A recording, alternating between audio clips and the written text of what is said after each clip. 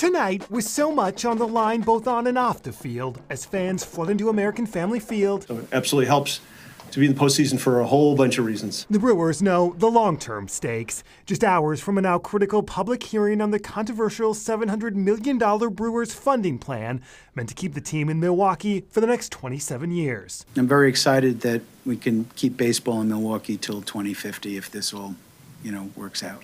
The Republican plan is undergoing changes and will likely need Democratic support, as the bill's author recently said on Upfront. It'd be very close and very tough if we had to do it. Um, I think we're going to need some Dem votes. The money needed for long term maintenance and upgrades to American Family Field, a stadium the state owns, and money the Stadium District Board no longer has since the five county sales tax used to build the ballpark ended in 2020. Brewers principal owner Mark Attanasio Tuesday. Yeah, I've, I've never considered going anywhere else. Uh, sure, we get entreaties. We've had entreaties, you know, probably for a decade from cities that didn't know the nature of our, our lease. And uh, you know, right now, our lease runs till 2030.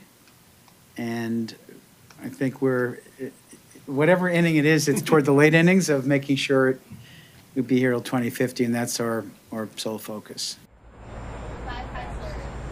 Matt, there are a lot of revenue streams with this proposal. So walk us through the specifics of where that money's coming from. So, Joyce, part of it includes about $7.5 million a year from Milwaukee and Milwaukee County. That number, though, will likely be lowered to get more Democrats on board. A new poll out tonight, commissioned by Visit Milwaukee and MMAC, showing about two thirds of Wisconsinites want the governor and Republican lawmakers to reach some sort of compromise. Joyce. We know you'll be sure to follow it. Political Director Matt Smith live in the newsroom tonight.